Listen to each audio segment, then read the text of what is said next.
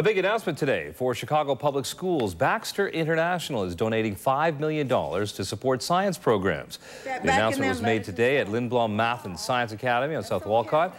Baxter is going to be donating the money over the next five years, and part of the money will be used to support a biotechnology center at Lindblom, and it will also go to the Renaissance School Fund for the creation of two new schools.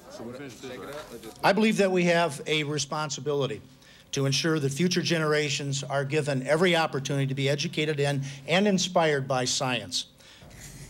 Mayor Daley says that this money is going to be impacting thousands of students. Baxter International produces healthcare products. An event featuring Baxter International, that locally based biotechnology firm, is donating $5 million to Chicago Public Schools. The money will be given over five years and is intended to support science initiatives. good news today, and what we're trying to do is uh, reinstill math, science, and technology, uh, not just in high school, but early, uh, basically from early child education all the way through, and make it exciting, interesting, challenging, as well as job opportunities. But America is a long way to go. You better believe it.